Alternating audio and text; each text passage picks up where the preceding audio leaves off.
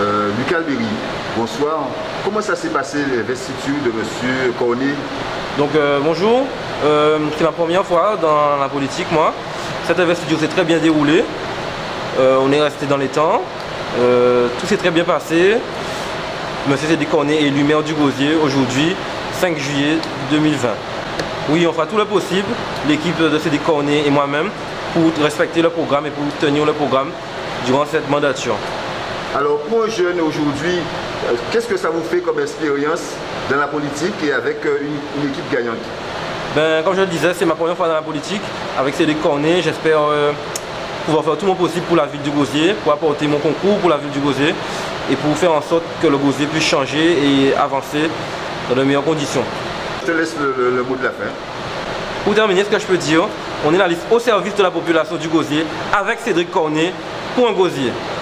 Merci pour canalgenet.com. À bientôt. À bientôt.